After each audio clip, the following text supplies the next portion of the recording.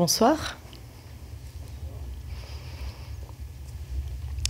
Mesdames et messieurs, chers amis, je suis heureuse de poursuivre ce soir le cycle des entretiens d'ici, consacré au pouvoir des mots dans des domaines variés. Après avoir abordé l'art du mot juste avec maître Bertrand Perrier, puis le storytelling avec Dominique Volton, nous évoquons aujourd'hui les récits de la mythologie grecque et romaine avec vous, monsieur Jean-Louis Poirier. Vous avez enseigné plus de 20 ans en Cagne, au lycée Henri IV.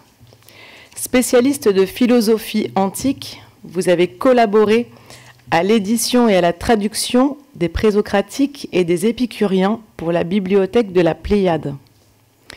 Vous êtes l'auteur de divers, divers articles et contributions en histoire de la philosophie et en sciences humaines. Fervent italophile, vous avez consacré un ouvrage à l'enseignement de la philosophie en Italie.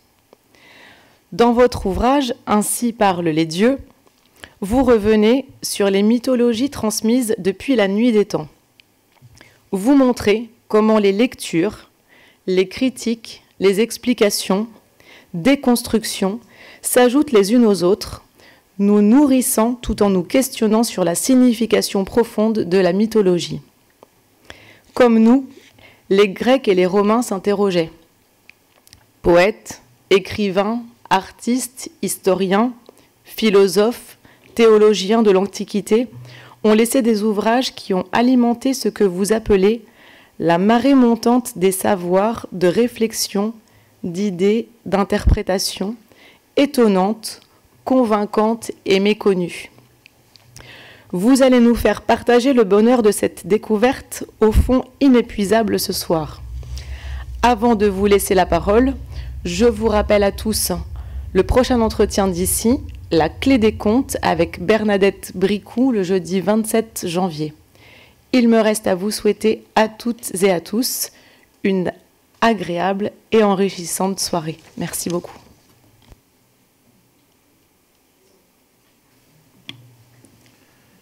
Euh, mesdames, Messieurs, Mesdames, Messieurs, les adjoints au maire, les conseillers municipaux, et puis Mesdames, Messieurs, tout simplement, je voudrais d'abord dire, en effet, le bonheur que j'ai, que j'aurai, j'espère, à essayer de partager avec vous un bonheur, celui d'une découverte que j'ose croire un peu inaccoutumée de la mythologie grecque que nous connaissons si bien, ou que nous connaissons tous plus ou moins. Le, livre auquel s'attachent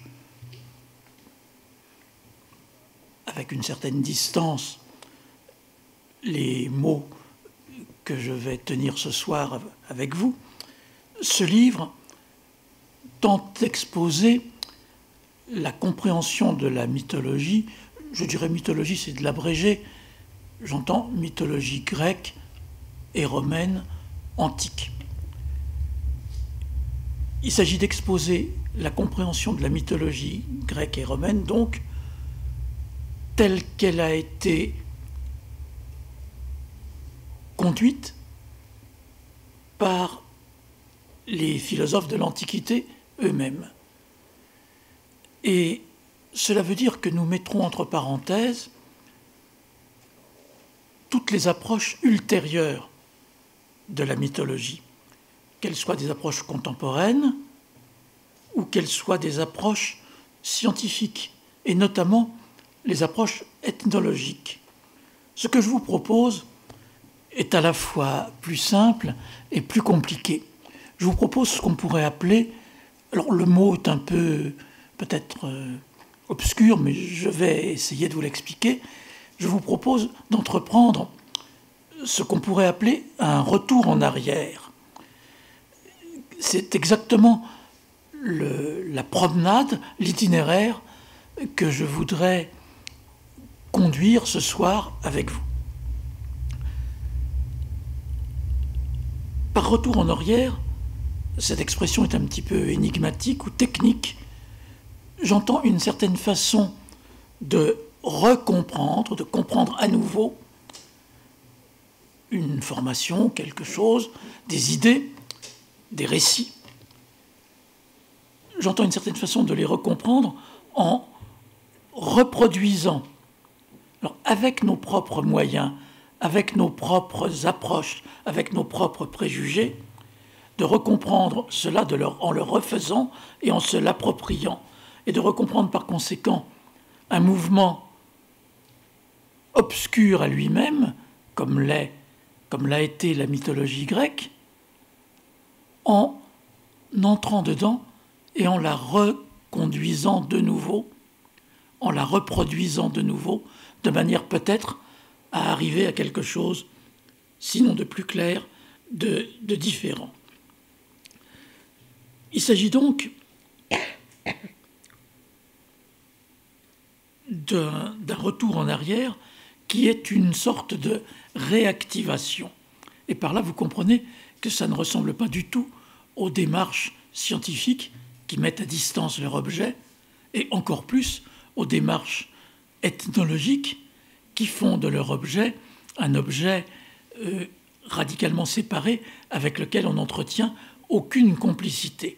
Alors je, je n'attaque pas du tout la démarche ethnologique, elle a évidemment son droit, et il est vrai que pour comprendre les représentations, les idées, les mythologies d'un peuple, il est certainement utile de ne pas les partager et de ne pas en partager les préjugés.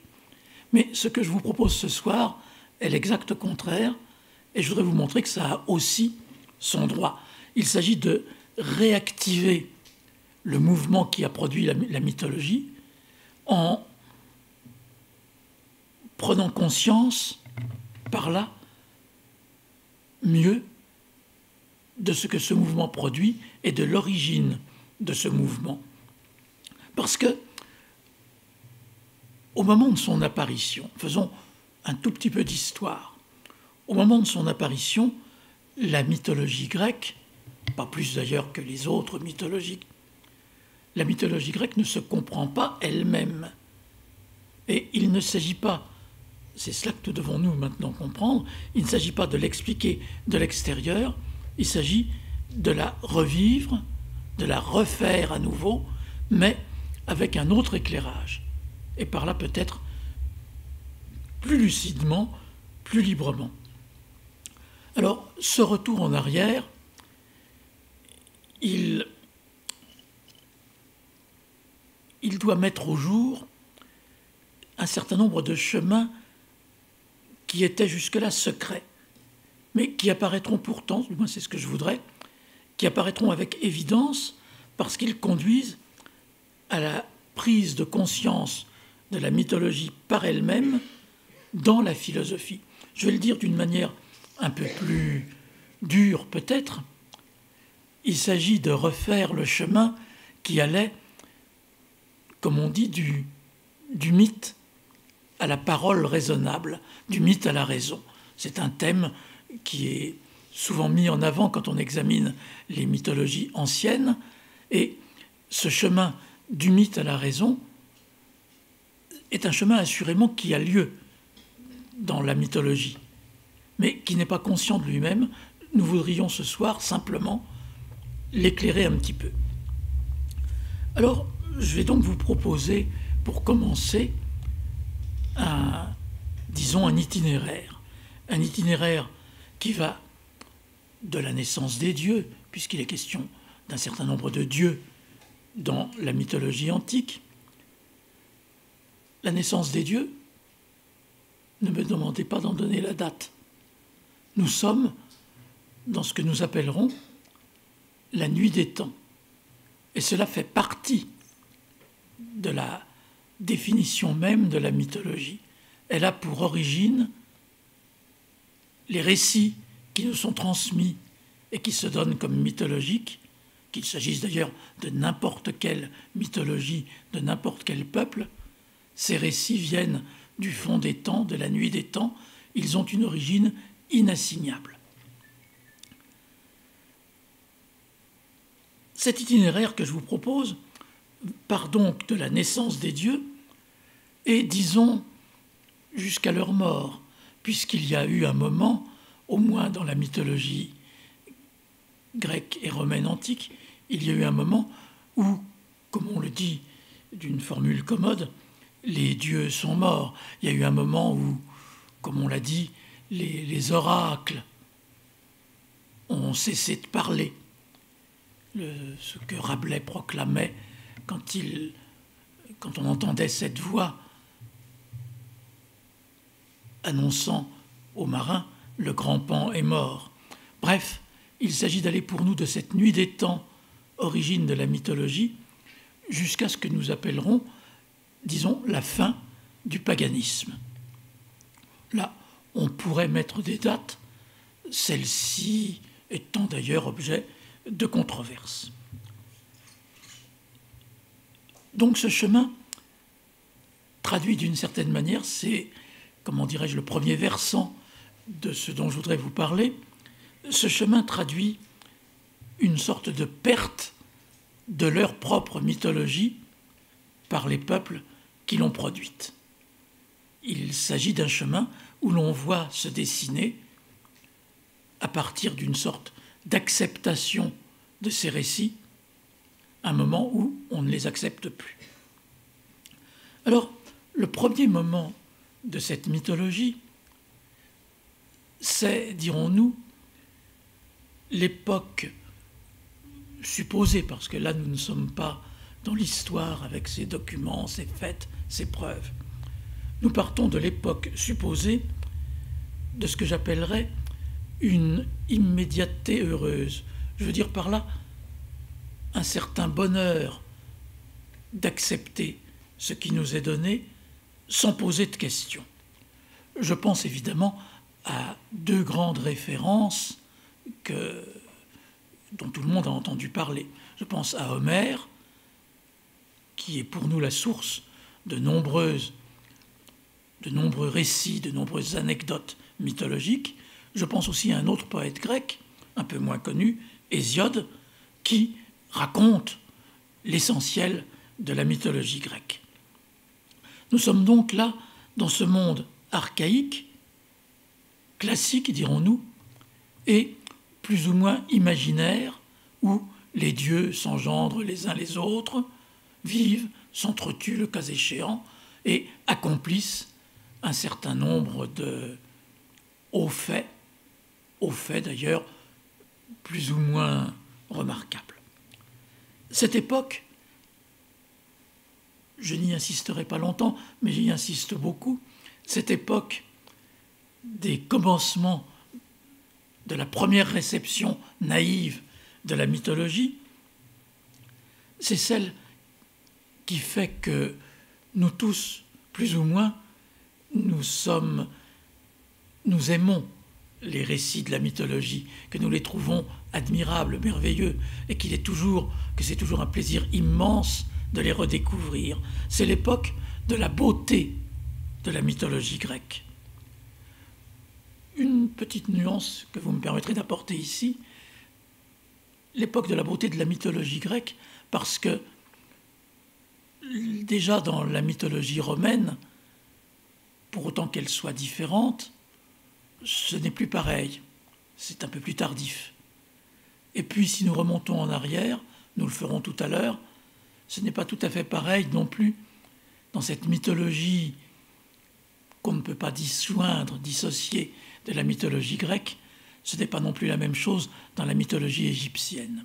Mais j'y reviendrai plus amplement. Cette époque de la beauté de la mythologie grecque est une époque heureuse, donc, qui est une époque où la mythologie existe sous la forme de récits. Et c'est d'ailleurs sous cette forme que nous-mêmes, de nos jours, nous abordons ou recevons la mythologie quand nous voulons la recevoir, j'allais dire, sérieusement. Il y a un certain nombre de récits qui ont donné lieu à des textes et nous prenons plaisir à les découvrir ou à les lire.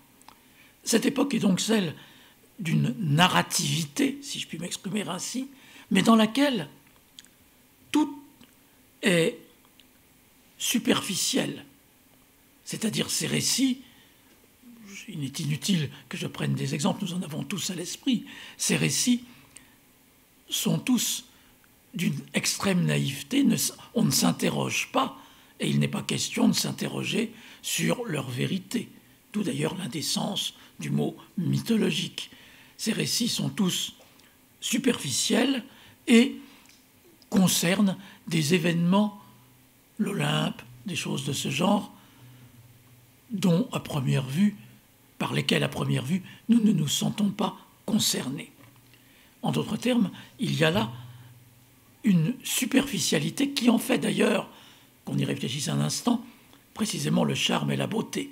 Comme le disait Nietzsche, les Grecs sont superficiels par profondeur. Nous creuserons peut-être un peu tout à l'heure. Donc, je récapitule un peu ce point, cette superficialité. Les récits de la mythologie sont de belles histoires sur lesquelles on ne s'interroge pas. De même, les dieux, ce sont des personnages qui appartiennent à un monde, vivent dans un monde dans lequel nous-mêmes, les hommes, vivent également. Il y a une cohabitation constante et apparemment sans problème des hommes et des dieux dans la mythologie grecque. Reprenez les poèmes d'Homère, ben, il y a des dieux, il y a des hommes, tout cela est mélangé, et ça ne pose, si je puis faire, surtout pas une plaisanterie, mais le vivre ensemble des dieux et des hommes ne pose aucun problème. Ajoutons un mot quand même, ces dieux, presque toujours, ont une forme humaine. Je dis presque toujours, parce que certains d'entre eux, il leur arrive d'avoir une forme animale. Mais en tout cas, je vous rassure, ce qu'ils n'ont jamais, d'ailleurs, à quoi cela ressemblerait-il?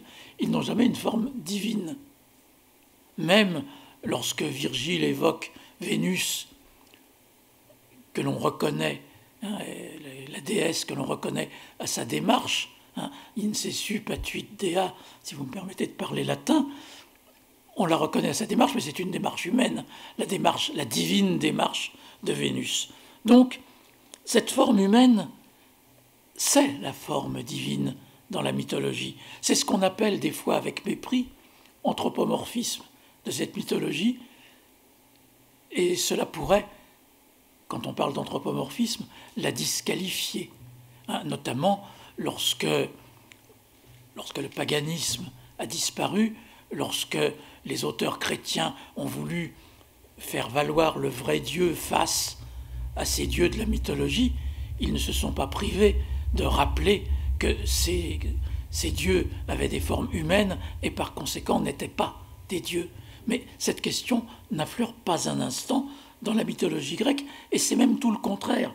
C'est que la forme humaine, si on comprend bien l'anthropomorphisme, la forme humaine est elle-même une forme divine. Voilà ce que veut dire l'anthropomorphisme de la mythologie grecque.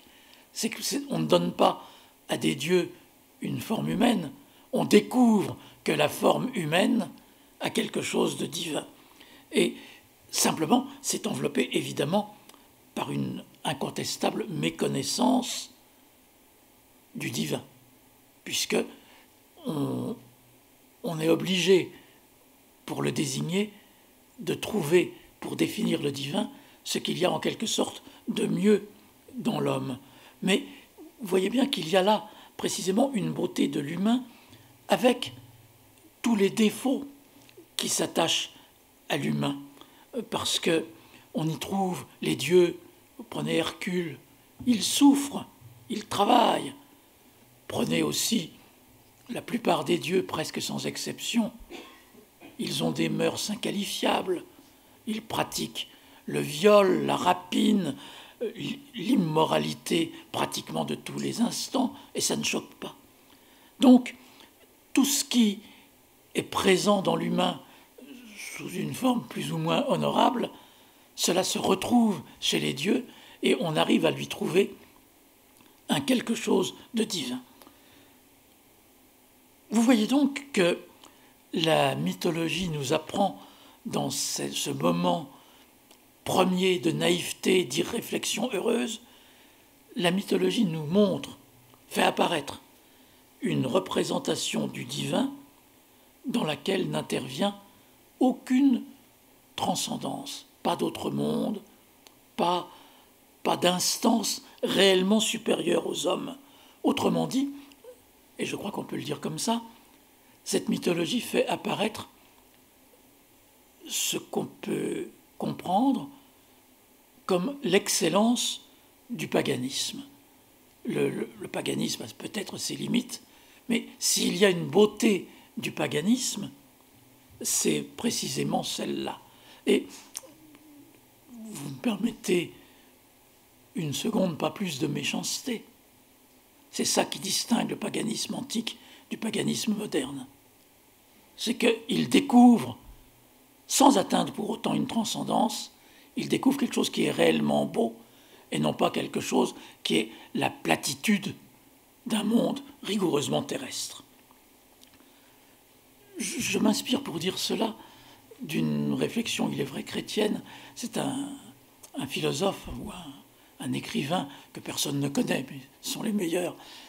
Arnob, au IIIe siècle après Jésus-Christ, a dit sur l'anthropomorphisme des choses définitives qui le mettaient d'ailleurs en marge des autres philosophes chrétiens, parce qu'il a expliqué que précisément c'est ce qu'il y avait de meilleur dans l'humanité qui apparaissait dans l'anthropomorphisme des dieux grecs. Assez sur cette belle irréflexion. Supposé d'ailleurs, parce que c'est, c'est à voir, et nous allons le voir.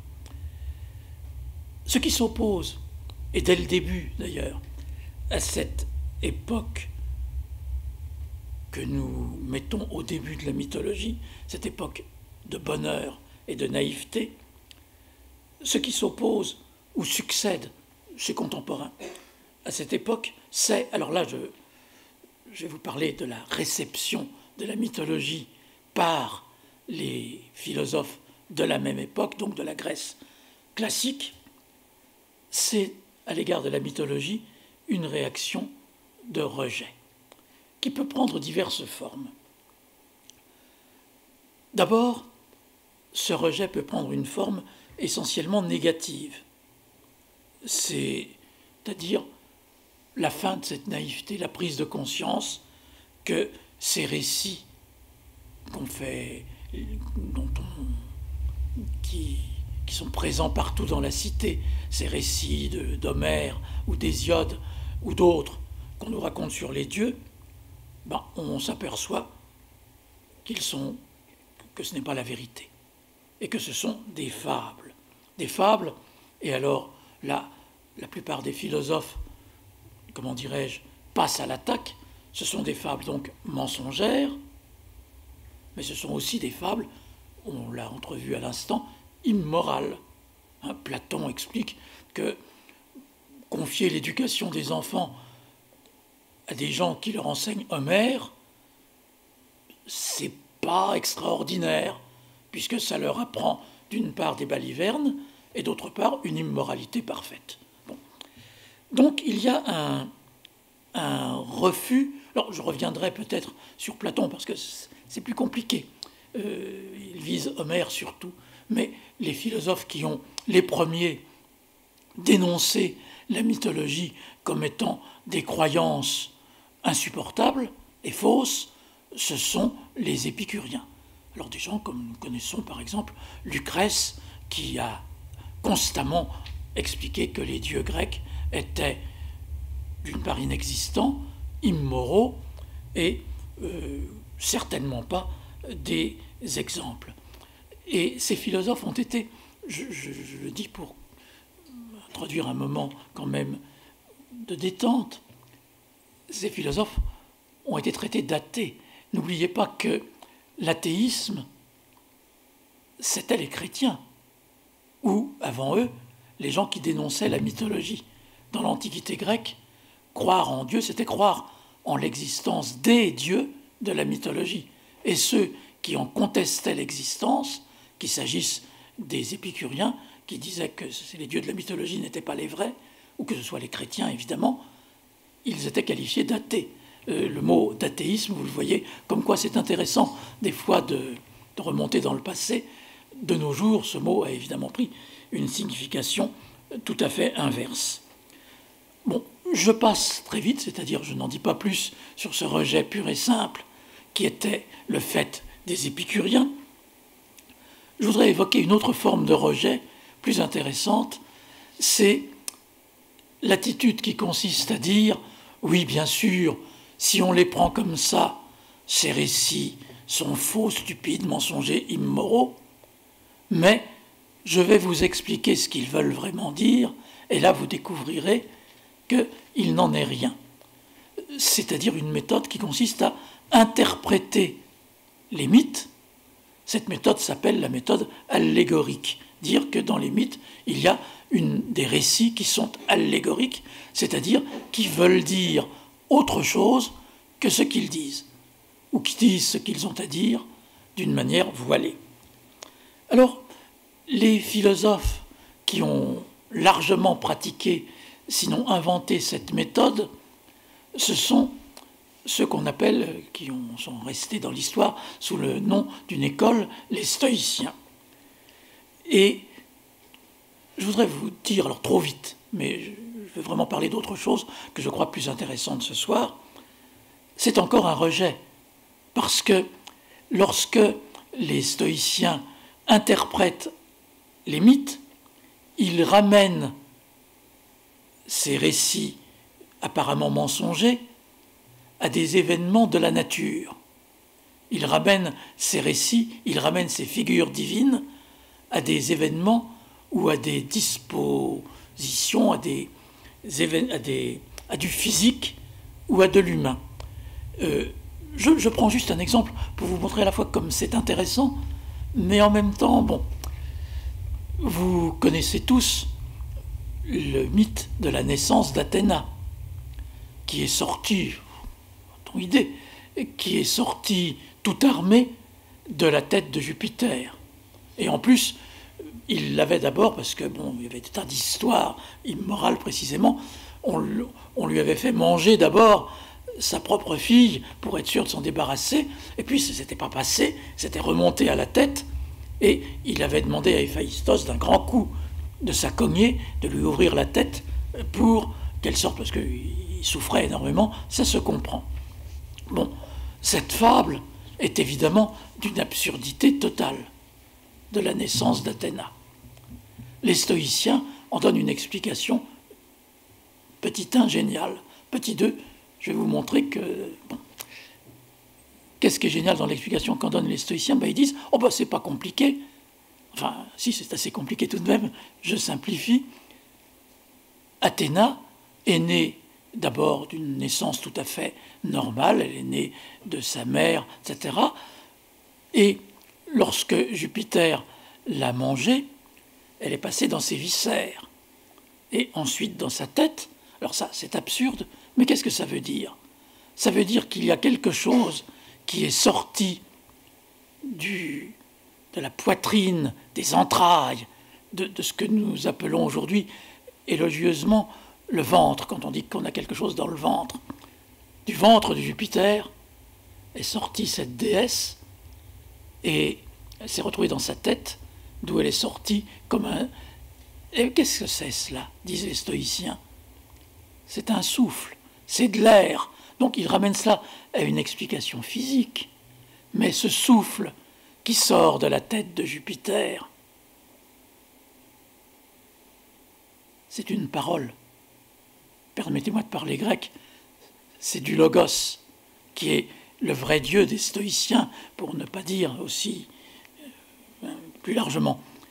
Et cela veut dire par conséquent que Athéna sortant tout armée de la tête de Jupiter, c'est la parole formée dans l'ensemble du corps par un souffle puissant qui devient la parole qui va comprendre et expliquer le monde et qui sort donc de la tête de Jupiter. Et c'est pas pour rien qu'Athéna, Minerve en latin, c'est la déesse de l'intelligence et de la parole intelligence, donc du logos. Alors cette interprétation, vous le voyez, est magnifique, mais elle est physicaliste, et une fois de plus, on ramène le divin à de l'humain. Alors peut-être que cela est très intéressant, je dis peut-être, c'est assurément extrêmement intéressant, mais le, mythologique comme tel, l'interprétation, l'allégorie, le récuse. Et de la même manière, quand on dit que Poséidon, c'est la mer, ou que euh, c'est le vent, on le ramène à des forces physiques qui ont certes leur importance, mais à côté d'une divinisation possible des forces physiques, il y a aussi une physicalisation des puissances divines, et le stoïcisme, c'est bien cela. Alors, je voudrais vous montrer maintenant qu'il y a un autre chemin sur lequel je voudrais m'attarder un peu plus. Il n'y a pas à l'égard de ces fables mensongères et immorales que sont les récits de la mythologie, il n'y a pas que ce rejet des épicuriens ou ce quasi ou ce quasi rejet des stoïciens. Il y a aussi, comment dirais-je, enfin je vais essayer de faire apparaître un, cheminement secret. Il y a aussi quelque chose, et c'est pour ça que je vous parlais d'un retour en arrière, de revivre. Nous allons être attentifs dans cette belle tranquillité à quelque chose qui, qui l'inquiète, à quelque chose qui trace dès le début ce mouvement que nous allons essayer d'amplifier pour mieux le voir, de reprendre et éventuellement d'éclairer.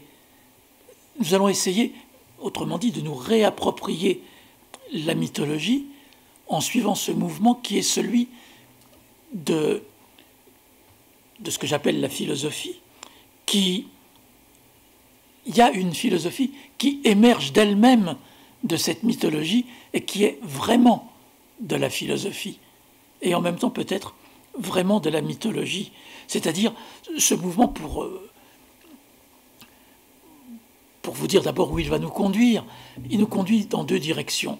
D'une part vers une mythologie devenue philosophie, et devenue véritable philosophie, et d'autre part une mythologie devenue religion, devenue parce qu'il y avait aussi dans cette mythologie et dès le début ce, cette présence que on insiste sur laquelle on n'insiste pas trop dans les morceaux choisis de mythologie mais qui est extrêmement importante, la présence de ce qu'on appelle les cultes à mystère, la présence d'une mythologie d'initiation avec des dieux un petit peu étranges, des dieux qui ne sont pas comme Jupiter, Zeus ou Apollon, des dieux un peu plus inquiétants, comme Isis, Déméter, Proserpine pour parler latin, Corée pour parler grec. Nous allons essayer de voir cela de manière euh, précise, parce que cette mythologie va donc d'un côté, elle va disparaître certes, mais peut-être dans sa vérité, en devenant soit philosophie, soit forme de subversion, culte à, mystère. Vous voyez que c'est désormais une mythologie. Qu'est-ce qui est commun à la philosophie, la vraie et, ces cultes à mystère qui se sont considérablement développés dans l'Antiquité tardive, mais qui viennent de la plus haute Antiquité. Ce qu'il y a de commun, c'est que la, philosophie découvre là une, inquiétude. Nous, découvrons ici la, mythologie prend en charge, si vous voulez, et dès le début, les, grandes questions que se posent les hommes et, et leurs, leurs grandes inquiétudes. C'est-à-dire, il y aura d'un côté, la mythologie doit nous conduire à une interrogation philosophique radicale, mais ça c'est de la philosophie. Mais d'un autre côté, existentielle, parce que dans, les cultes à mystère, il y, avait un culte, il y avait des rites, il y avait des gens qui les vivaient, ou plus exactement, peut-être ce que nous sommes en train de faire ce soir, qui revivait tout cela. on prend en charge, la mythologie prend en charge les inquiétudes humaines les plus brûlantes. J'essaierai de vous montrer tout cela.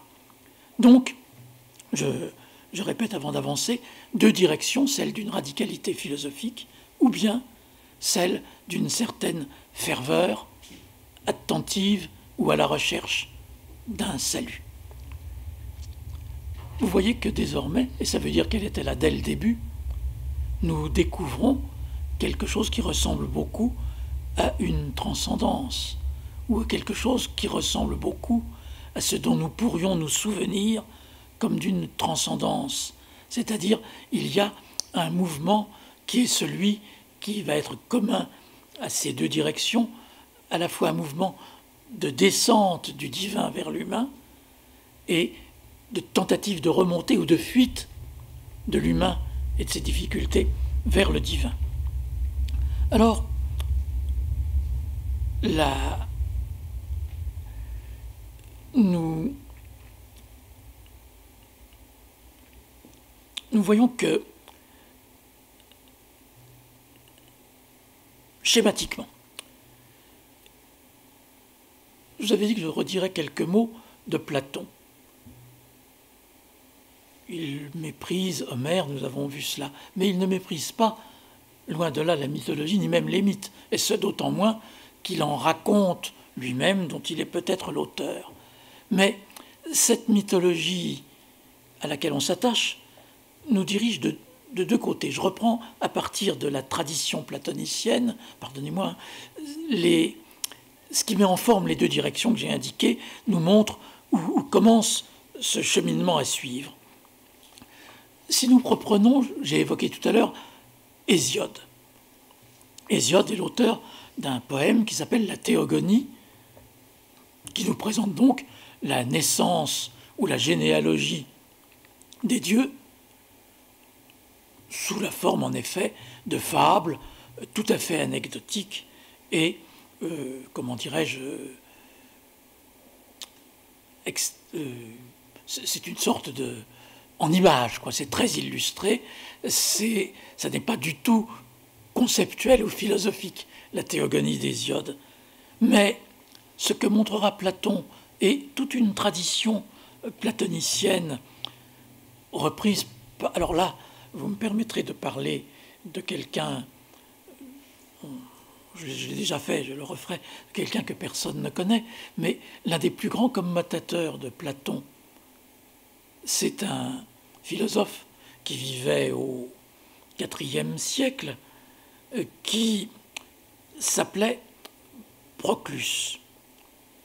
Euh, quand je dis IVe siècle, c'est même plutôt le, le 5e. C'est très tardif. Mais Proclus est le philosophe qui nous a expliqué. Alors, c'est une grande lacune, je dirais, de, la philosophie aujourd'hui, c'est que quand nous lisons Platon, ce que nous pouvons tous faire.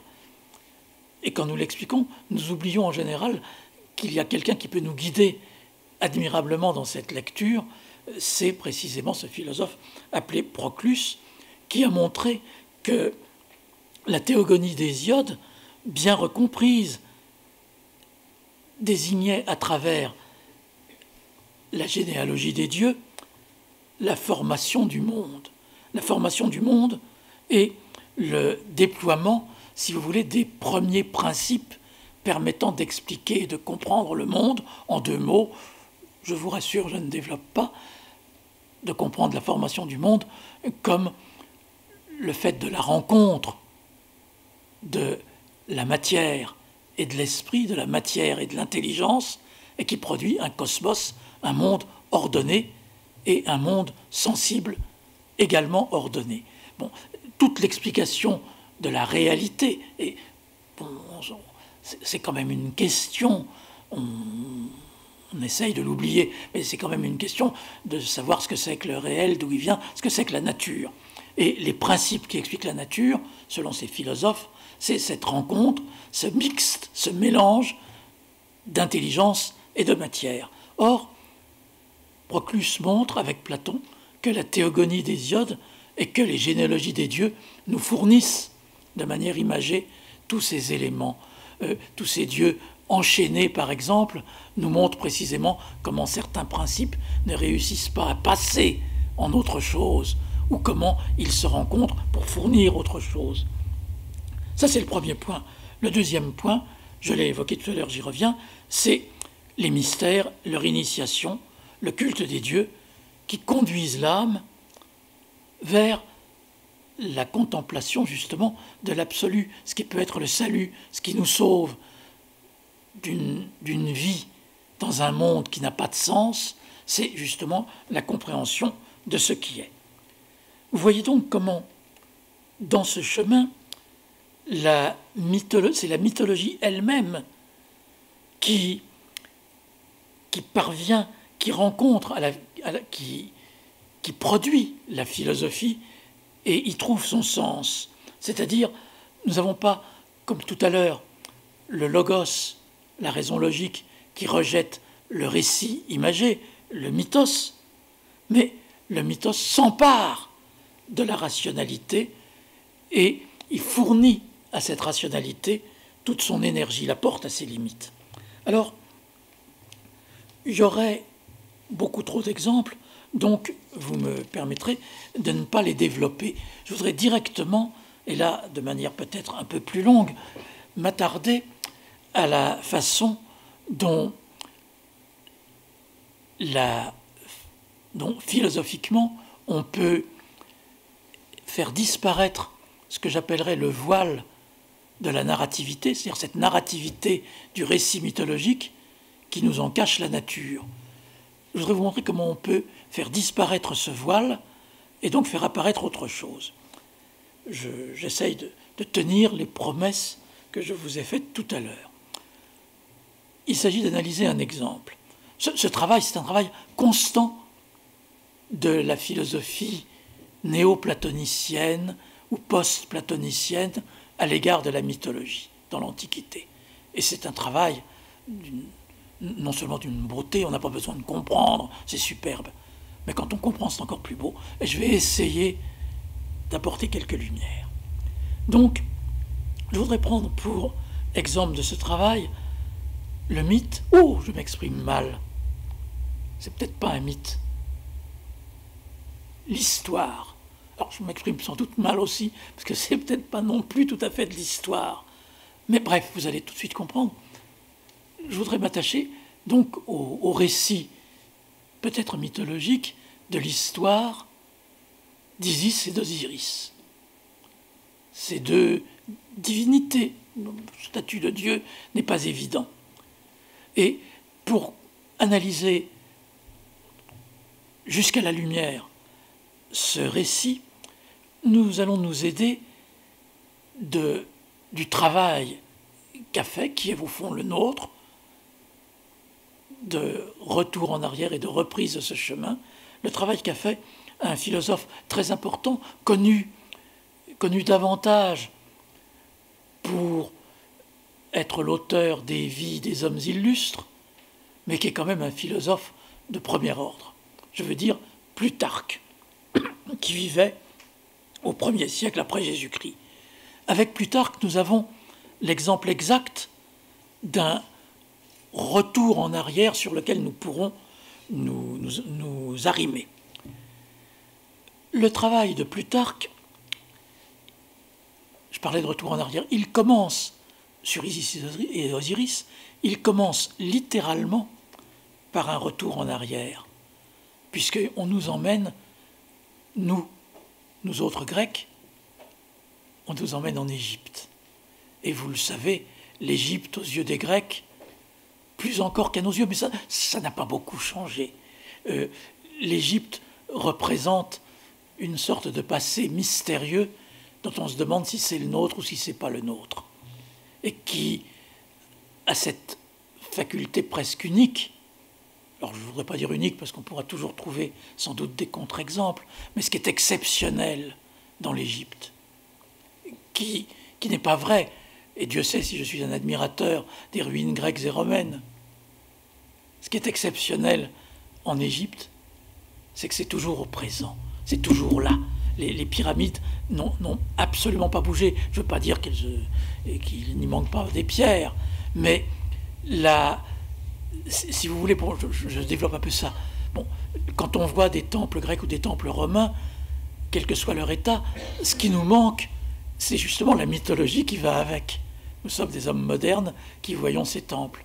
Alors que, si on prend, et Plutarque le dit, c'est déjà vrai de son temps, et je crois que ça l'est encore d'une autre, quand on regarde les monuments des Égyptiens, ça n'a pas bougé, et il y a encore, il n'y a pas que des pierres, il y a encore avec ces pierres l'esprit de ces pierres. Peut-être parce que c'est l'hypothèse que suggère Plutarque, que d'autres philosophes ont poussé plus avant, Hegel par exemple, peut-être parce que justement ces pierres portent en elles-mêmes l'esprit.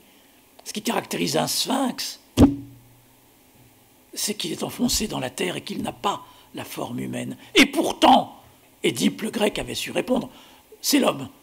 Et pourtant c'est l'homme. Mais il est caché dans la pierre, et donc il y reste. C'est ça qui est si prenant, si inquiétant dans la mythologie, je n'ose pas dire mythologie, dans, dans ce monde de l'Égypte ancienne. Et en plus, il y a une rivalité entre les Grecs et les Égyptiens, une rivalité d'ancienneté, qui sont les plus anciens, parce qu'il y a toujours ce procès, on, on accuse, c'est pas une accusation d'ailleurs, mais enfin, on se demande si Platon n'a pas tout trouvé. Il a voyagé en Égypte dans des livres égyptiens qui auraient disparu, et dans les livres égyptiens ou, hébraïques ou hébreux, ça vient de l'Orient, toutes ces choses-là. Alors, cette terre d'Égypte, elle nous intéresse donc en raison de son ancienneté, mais aussi parce que c'est la terre de la naissance et de la mort des dieux.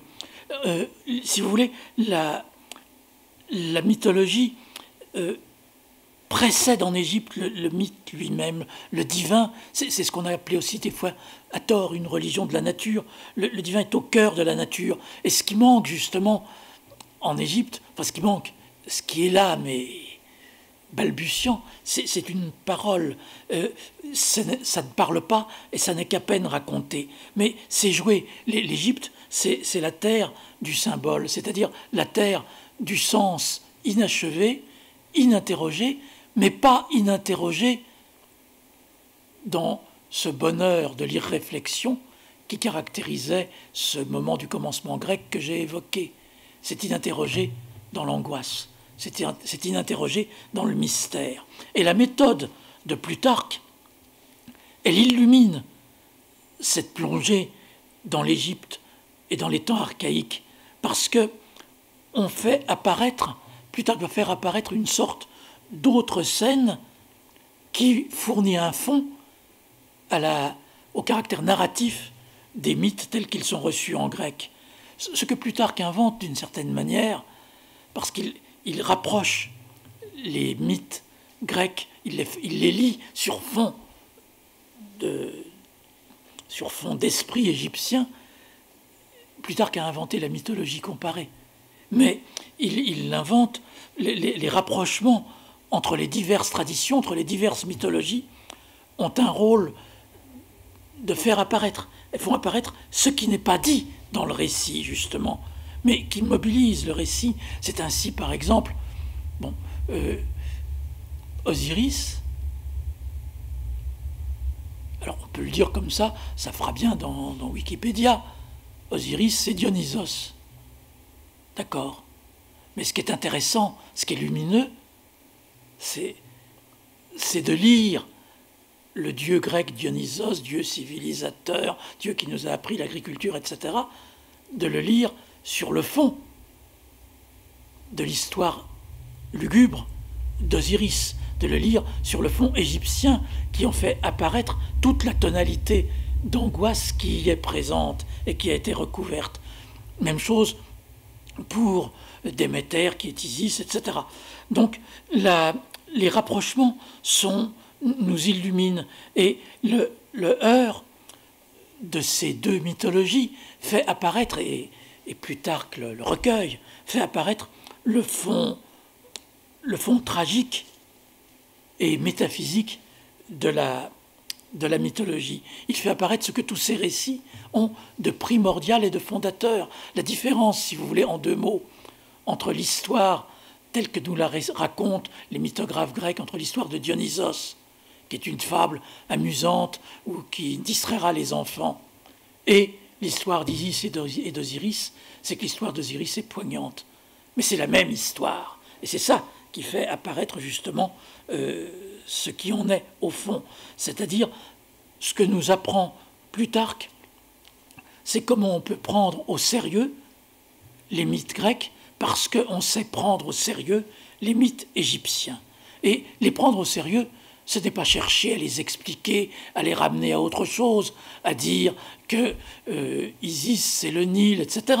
Il s'agit de mettre en œuvre toute une puissance explicative de ces rapprochements pour faire apparaître vraiment la vie des, des, premiers principes. Il y a donc une lecture, la lecture de la mythologie par Plutarque nous apprend la gravité. Alors, avançons-nous in concreto là-dedans. Qu'est-ce que qu'est-ce qu'il faut relever dans ce retravail par Plutarque du mythe d'Isis et d'Osiris? Alors, l'histoire d'Isis et d'Osiris, c'est une histoire d'abord, euh, il faut peut-être que je la rappelle en, quelques mots. Hein. Euh, je passe sur la naissance d'Isis et d'Osiris qui sont frères, qui ont une noble naissance, puisque bon, ils descendent finalement de Chronos, etc. Mais pour, après, sur le premier point, que ces deux frères, ou le frère et la sœur, il ne faut pas que ça choque, ils sont depuis, j'allais dire depuis le berceau, tendrement, et plus que tendrement d'ailleurs, amoureux l'un de l'autre. C'est le grand amour d'Isis pour Osiris. Alors, le malheureux Osiris, il va lui arriver beaucoup de malheurs, notamment il va être, pour être protégé plus ou moins, on va l'enfermer dans un coffre et le lancer sur le Nil, et Isis le perd par conséquent, et Isis, extrêmement malheureuse, parcourt le monde, le cherche. c'est un moment effroyable pour elle, l'errance d'Isis à la recherche de son bien-aimé Osiris, qui en plus, ayant été récupéré par un autre frère, mais alors là tout à fait détestable, Typhon, le met en pièces. Et donc, Isis essaye d'aller un peu partout récupérer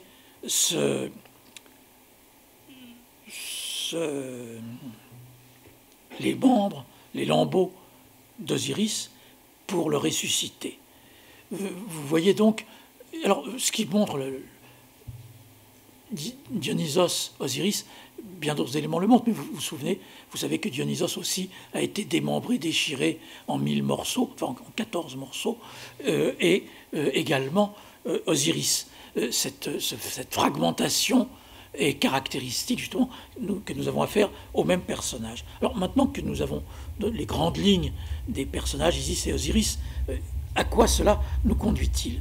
Alors d'abord, Plutarque insiste sur le fait que les événements qui sont rapportés dans ce mythe, dans ce récit, il dit, je cite, ce sont des événements réels. Alors, je ne le dis pas comme ça, hein. je vous, lis le texte exact. Le récit que je viens de vous faire ne ressemble point à ces fables, à ces vaines fictions que les poètes et les mythologistes enfantent dans leur imagination et qui, semblables à des toiles d'araignée, n'ont aucune solidité. Il s'agit ici de faits véritables et d'accidents réels. C'est ce que prouvent ces cérémonies tristes et lugubres qui accompagnent leurs sacrifices, la forme de leur temple, où l'on voit d'un côté de larges ailes, de longues avenues découvertes, et de l'autre des chambres souterraines et obscures en forme de cellules ou de chapelles. Mais voyez bien que lorsque Plutarque dit que ce sont des faits réels, il ne veut pas dire que ce soit vrai. Il veut dire que ces événements, en ce qu'ils ont de dramatique, renvoient à des choses qui sont tout à fait réelles. Il n'y a rien d'artificiel dans cette représentation. Alors, bien les comprendre, ça nous dirige, et c'est pour ça que nous sommes dans le vrai, vers des principes essentiels, à savoir, très largement, je vais rétrécir, la formation du monde, le problème du mal. J'ai évoqué Typhon, il représente le mal. Questions qui n'ont rien de mythologique. Et puis, bien voir, là je, m'arrête un instant quand même pour vous expliquer cela, en quoi le récit mythique peut-il exprimer le vrai? Plutarque prend une comparaison magnifique. Comment, dans un récit, une fable anecdotique, le vrai peut-il apparaître?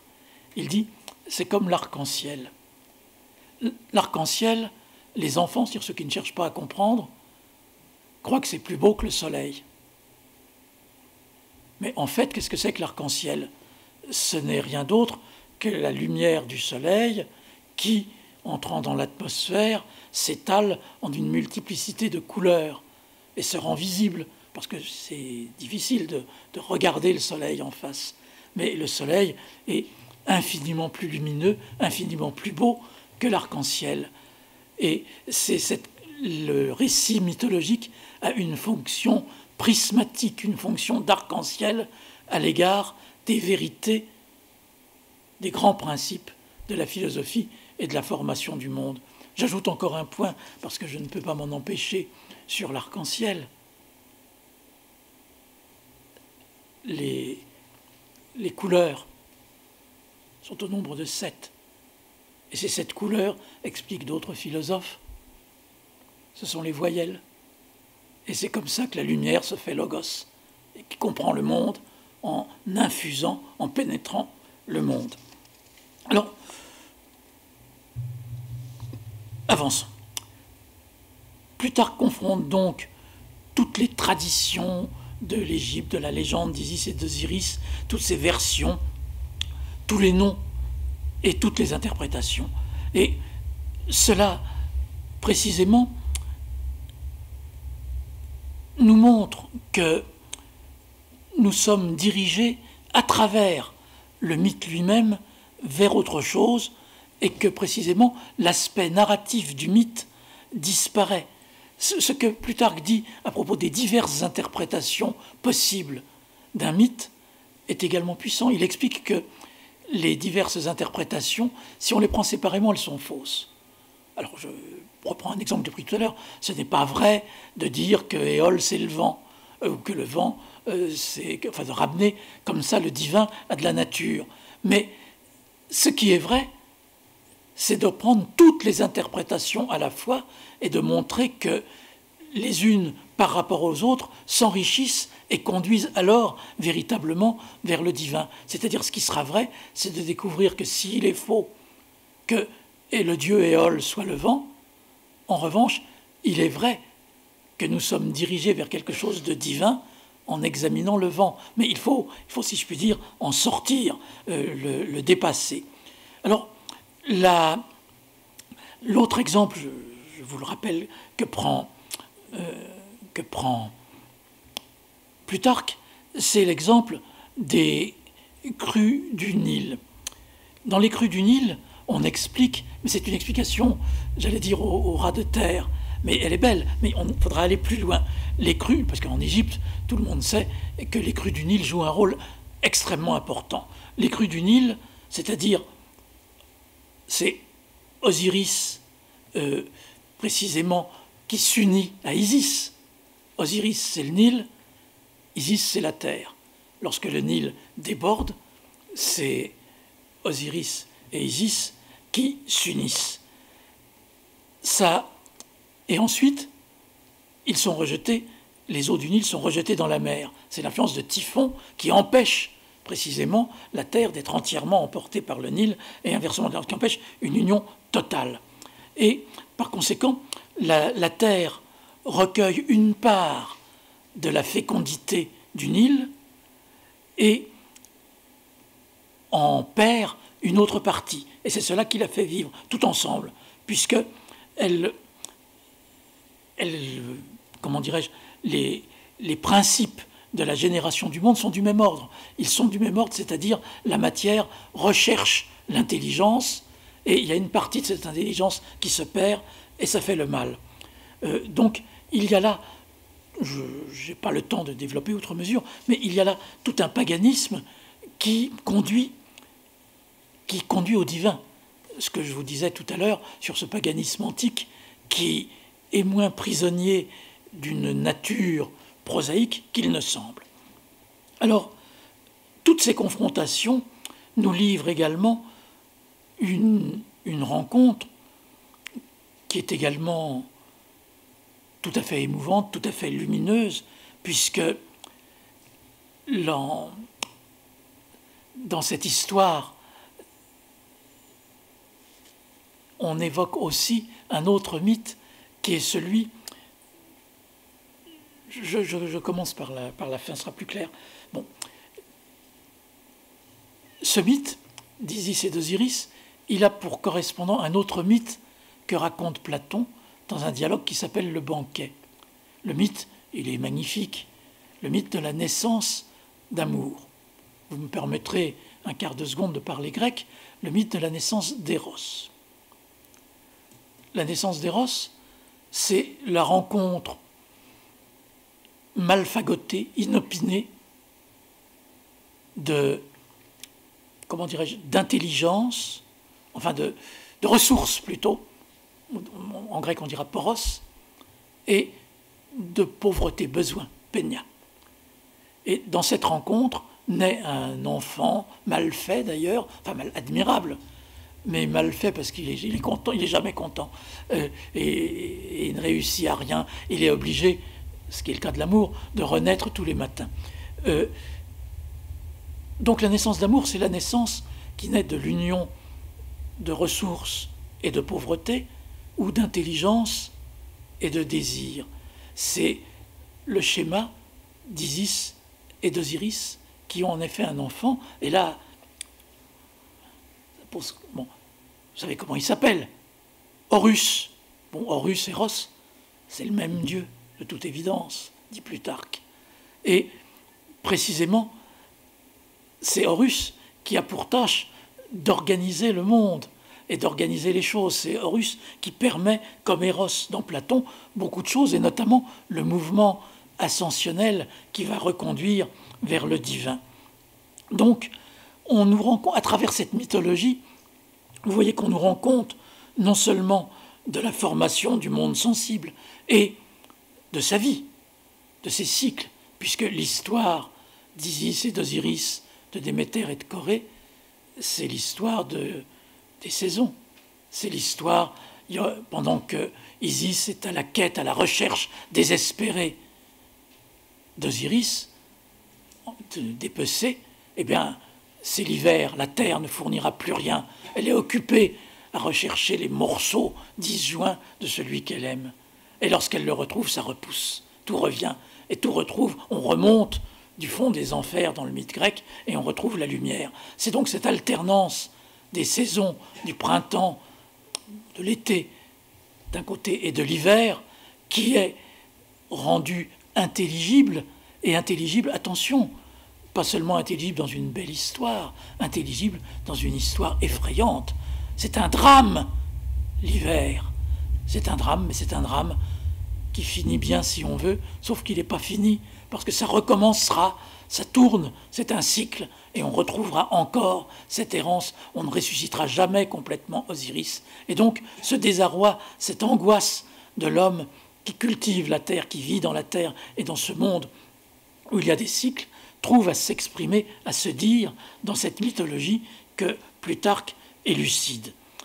L'autre aspect, je vais, j'en ferai ma conclusion, l'autre aspect, c'est le développement, le déploiement du culte et de la ferveur qui permet à cette mythologie de trouver sa dimension existentielle. Alors là, je voudrais évoquer la, figure d'un autre philosophe, j'allais dire qui n'est pas très connu, peu importe, euh, Julien, qu'on appelle quelquefois dans notre monde Julien l'Apostat, l'empereur Julien, qui, dont nous devons nous souvenir pour deux raisons.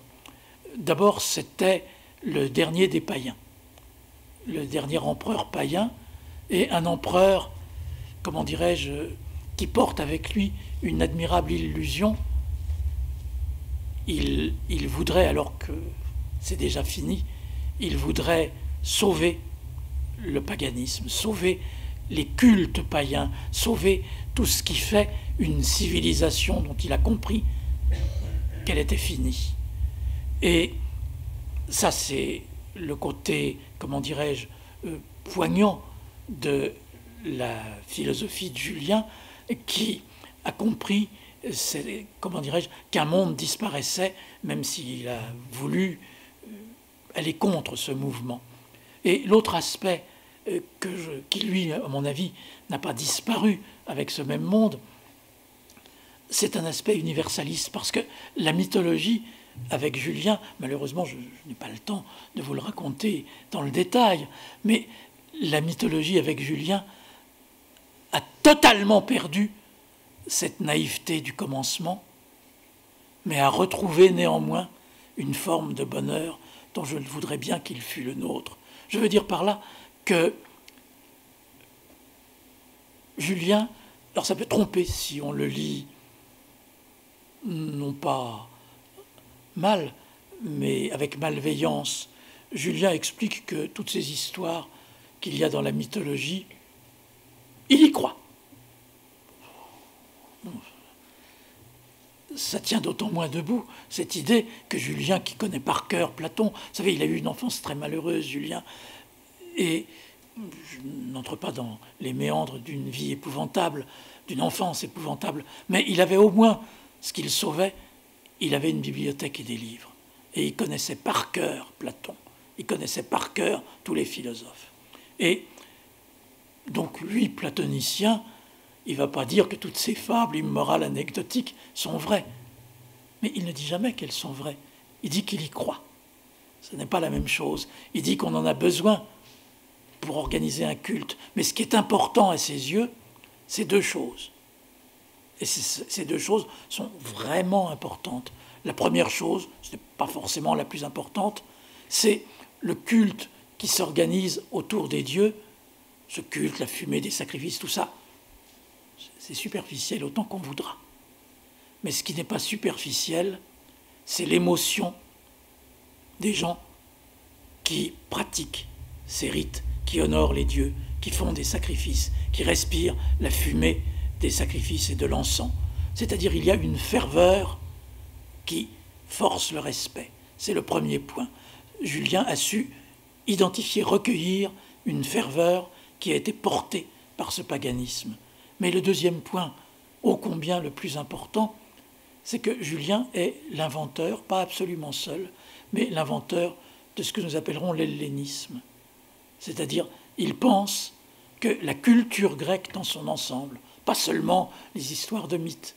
Il pense que la culture grecque dans son ensemble est une culture universelle qui peut s'imposer au genre humain dans son entier. S'imposer, je m'exprime très très mal, qui peut être recueilli, reçu, admiré, vécu par l'intégralité du genre humain. Cette culture, qui est la culture de l'hellénisme, Julien a entendu la promouvoir et je dirais, ce sera mon dernier mot, tout n'a pas été entièrement perdu, parce que, avec la fin du paganisme, la fin de l'Empire romain, la fin et la mort des dieux de la mythologie, cette culture a quand même survécu grâce à un chrétien très important qu'il aimait peut-être encore plus que Julien, je veux dire Saint Augustin. Je crois qu'il est temps que nous ayons quelques moments d'échange, si c'est possible.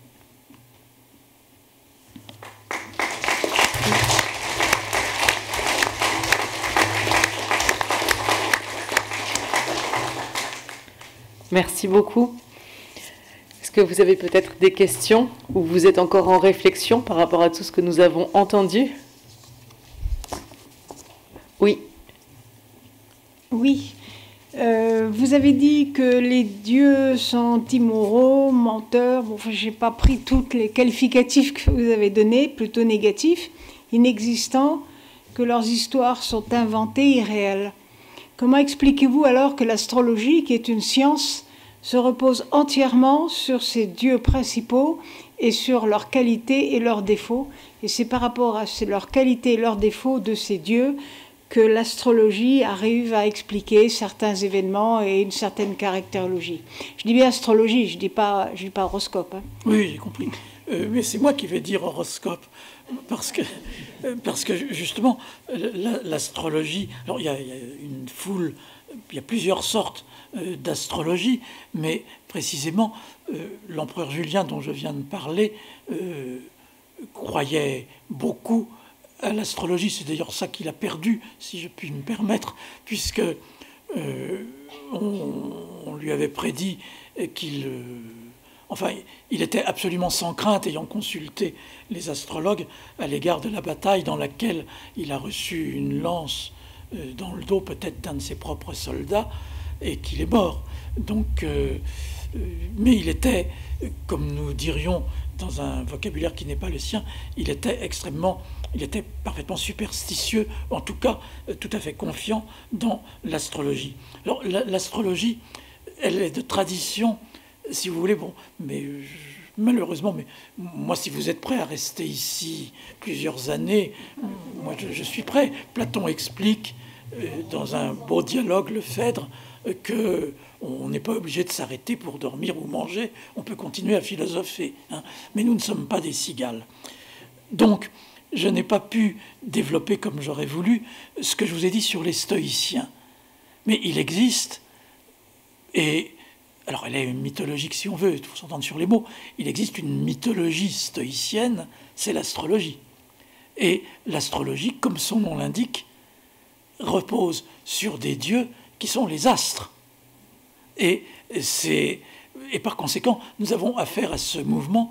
Vous, savez que quand, euh, quand un empereur notamment euh, mourait, il était il n'était pas transformé. Bon, on a cru longtemps que les empereurs devenaient des dieux en mourant. Apothéose, c'est du grec. Mais en fait, enfin, en fait, ils devenaient des étoiles. Et il faut remplacer le mot. C'est un plaisir d'utiliser des mots que personne ne comprend. À la place d'apothéose, il faut dire catastérisation. C'est-à-dire, ça veut dire que quand, lorsque Vespasien est mort, il disait Je me sens devenir euh, un dieu, il aurait pu dire je me sens devenir un astre. Et les astres au ciel, donc, sont des dieux qui peuvent être des, hommes devenus des dieux, etc. Euh, et, le, et par conséquent, les dieux sont ceux qu'on voit au ciel. Alors ce sont, j'oserais dire, les vrais dieux, entendons-nous sur ce mot, d'une part ce sont les dieux de l'astrologie stoïcienne, mais d'autre part les, astres. Vous savez que les astronomes de l'Antiquité euh, Eudoxe principalement, Ptolémée également, c'est devenu célèbre avec Ptolémée. Bon, je ne sais pas si vous avez déjà regardé les astres. Alors, c'est compliqué, et ça pourrait un peu se rattacher à ce que vous disiez. Quand vous regardez le ciel étoilé, vous voyez d'une part un spectacle qui est d'un ordre parfait, c'est-à-dire il y a des étoiles qui se lèvent à un endroit donné, tournent, se couchent, et c'est comme ça j'allais dire, depuis toujours. Mais, si vous regardez un peu plus attentivement, c'est comme ça depuis toujours, presque, hein, mais enfin bon, admettons. Parce que c'est pas c'est compliqué hein, l'astronomie. Mais maintenant, regardons, je simplifie, il y a d'autres astres. Si vous regardez, si vous n'êtes pas du métier, dirais-je, qui font absolument n'importe quoi. À commencer par la Lune. Euh, sauf si vous êtes un, astronome patenté, je vous mets au défi de dire où on trouvera la Lune tel jour, euh, telle heure. Et puis surtout, ce qu'on a appelé, c'est le mot grec des planètes. Planète, ça veut dire errant, qui va n'importe où. Et les astronomes de l'Antiquité avaient inventé des systèmes, Eudoxe lui-même, Ptolémée surtout, des systèmes extrêmement compliqués, parce qu'il fallait, pour que ce soit des dieux, et qu'ils aient par conséquent droit à une certaine divinité, malgré ces défauts dont vous parliez, il fallait qu'ils décrivent des cercles parfaits. Et en même temps, visiblement, ce n'était pas tout à fait le cas. Donc on a inventé des systèmes de cycles et d'épicycles pour rendre compte, d'ailleurs génialement, de ces mouvements. Il s'agissait de, c'est de là que vient la belle expression qui est dans Ptolémée, il s'agissait de sauver les apparences. C'est-à-dire montrer que l'apparence désordonnée du ciel correspond à un spectacle ordonné et divin. On se donnait beaucoup, de mal pour cela. Et vous savez, mais là je, déborde, que c'est Copernic qui a, approximativement d'ailleurs, parce qu'il disait que les orbites des planètes étaient circulaires, ce qui n'est pas vrai, a euh, donné un système beaucoup plus simple pour rendre compte des apparences en disant que la Terre tournait. Euh, mais, et donc, ce système, c'est le système astrologique, puisqu'on a dans ce système, ça c'est bien catalogué, vous savez qu'il y a dans le ciel, on distingue deux cercles euh, à partir desquels on peut presque tout organiser. On distingue d'une part le cercle dit de l'équateur céleste, qui est le cercle sur lequel euh, la, la, Terre se déplace, autour duquel, qui tourne autour de la Terre, et puis un cercle appelé écliptique, celui que Platon appelle cercle de l'autre, parce que c'est un cercle, c'est pas, c'est pour ça qu'il y a cette problématique partout de rendre compte des choses par un mariage, un mixte, par un mélange. Il y a le cercle du même, l'équateur, qui a toujours le même mouvement, alors que le cercle de l'écliptique, cercle de l'autre, il tourne sur l'autre cercle. Ce qui fait les saisons, si on veut, ça c'est l'inclinaison de la Terre, et ce cercle est incliné de 22 degrés 23 par rapport à l'écliptique, par rapport à l'équateur, mais surtout le moment, vous savez qu'il y a un moment qu'on appelle le point gamma, où le cercle de l'écliptique croise le cercle de l'équateur. Et ce point se déplace sur une année, puisque ça correspond au mouvement du Soleil. Et c'est là-dessus qu'il y a les signes du zodiaque, sur lequel se fondent justement les horoscopes et l'astrologie. Alors, la, vous voyez que pour répondre à votre question, vous voyez que l'astrologie euh, peut parfaitement intégrer et régler d'une part les éventuels défauts des dieux, devenus des sortes de défauts apparents dans le mouvement des planètes, mais d'autre part ne repose pas, me semble-t-il, sauf erreur de ma part, sur les représentations homériques ou hésiodiques des dieux, mais sur les représentations très évoluées d'une théologie que Platon expose dans certains de ses dialogues, qui est une théologie astrale. Je ne sais pas si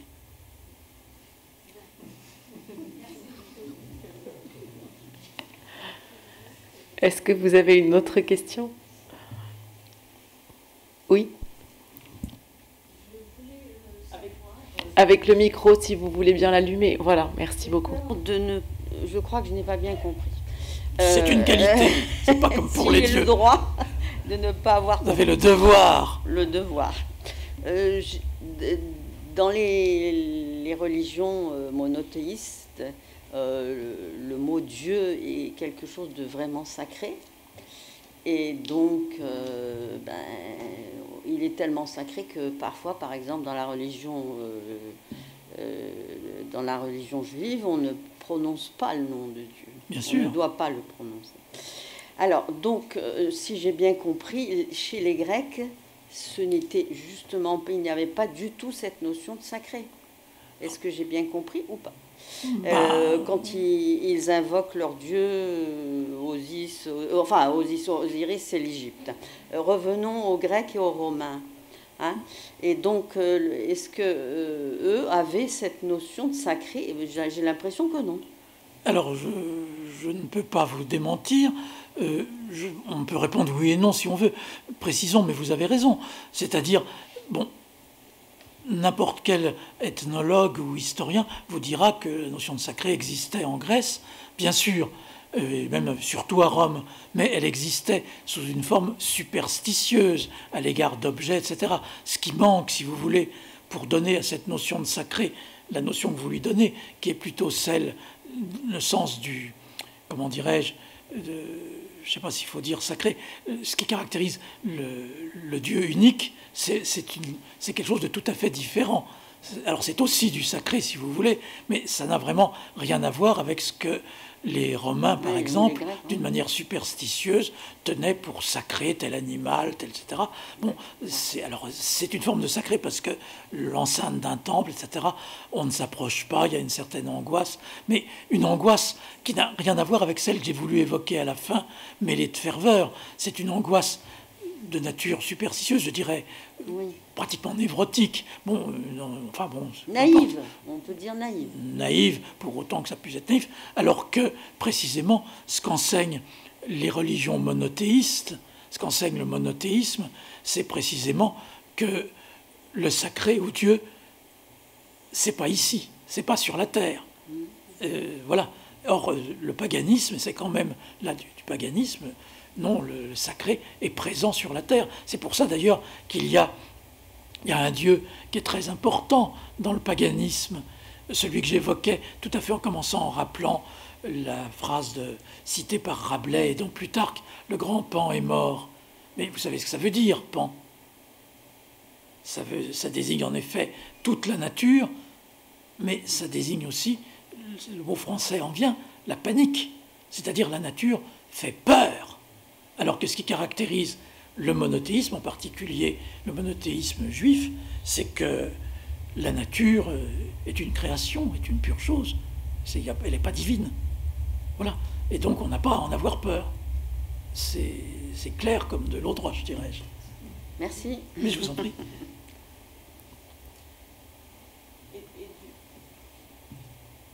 Je, m'excuse de répondre aux questions.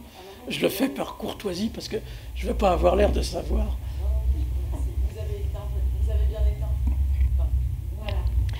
Du coup, ça, non, non, de... Ça, ça, me faisait penser, euh, dans ce, par rapport à ce que vous avez raconté et ce que vous nous avez expliqué, euh, du coup, comment vous intégrez l'ubris La question qui vient de, c'est-à-dire le fait que l'homme se rapproche, euh, ou je vais mal l'expliquer, je vous laisse peut-être le, dire, tellement de, Dieu que. Euh, ben, vous, avez raison, parce que effectivement, je ne sais pas si c'est ce que vous voulez dire, mais euh, l'ubris, qu'on traduit de manière incomplète en disant l'orgueil, c'est pas exactement, ça ne correspond pas exactement à ce que nous on appelle orgueil. L'ubris, c'est l'orgueil assorti de cette idée, pardonnez-moi une expression un peu vulgaire, casse-gueule. C'est-à-dire, alors que l'orgueil n'est pas nécessairement quelque chose qui entraîne l'échec. en grec, en Grèce, l'ubris, c'est une limite à ne pas franchir. Et l'ubris, c'est le fait de franchir les limites. Et alors, c'est une notion, bon, d'une certaine manière, tout entre dans la mythologie. C'est une notion qui entre dans la mythologie par l'intermédiaire d'un autre élément très important, mais bon, je ne peux pas vous en parler, et c'est aussi une des sources de la mythologie, ce qui veut dire qu'il faut prendre tout ça au sérieux, le tragique. L'ubris est une notion essentielle dans la tragédie grecque. Ce qui caractérise le héros tragique, c'est qu'il oublie un certain nombre de choses qui tiennent à sa situation, à sa condition, et plus radicalement à ce qu'il est. Euh, et, la, solution à l'ubris, je serais tenté de dire, c'est Socrate. Vous, savez quelle est la recommandation de Socrate Connais-toi toi-même. Et c'est ça que nous apprennent toutes les tragédies. Sauf que dans les tragédies, c'est dramatique. Dans les tragédies, Édipe ou d'autres, le héros tragique, apprend à se connaître lui-même bah, précisément par la tragédie. C'est un drame épouvantable qu'il remet à sa place. Ce que Socrate proposait, c'est d'apprendre à se connaître soi-même en, en se servant de sa tête et surtout de sa parole, puisque l'homme socratique ne sait rien, mais il s'est posé des questions, ce qui, ce qui fait que... Ce qui est notre cas très régulièrement, en fait. Voilà. Voilà. Et eh oui. Réponse qui fut apportée plus tard par Copernic en expliquant que si vous voulez comprendre l'univers, au lieu de regarder le ciel, regardez la Terre, c'est elle qui tourne, Copernic et Galilée. crois qu'on va repartir ce soir avec plein de choses euh, plein la tête. J'espère qu'il y a des étoiles. Il y a des étoiles. Merci beaucoup encore. On peut vous applaudir à nouveau.